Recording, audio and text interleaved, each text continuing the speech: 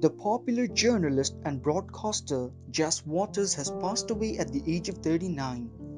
For those of you who don't know her, she is the writer of This Is Us and also Jim Carrey's Kidding.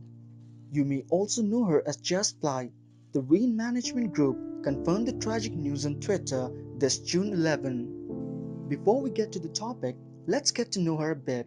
She was born in Illinois and she was currently residing in Los Angeles. She graduated from the Columbia College, Chicago.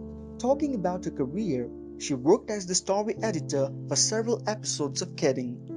Well, she wrote around 12 episodes for the American comedy drama series. In addition, she was also the writer of NBC's show called This Is Us.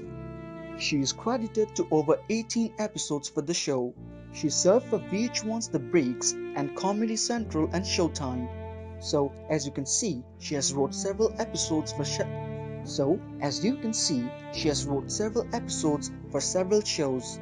Also, she had appeared in a reality show named Gossip Game. Besides all this, she worked on the productions of a television show for MTV's The Real World. Her other credits include Save the Last Dance, Barbershop, Spider-Man, and many more. You may not have recognized her before, but the fact is, she has a great contribution to the television industry. The news of Waters' passing was announced by her fellow friend Sade Sellers. However, the cause of her death has not been revealed yet. As the news of her death spread on social media, the writer is remembered for her positivity and talent.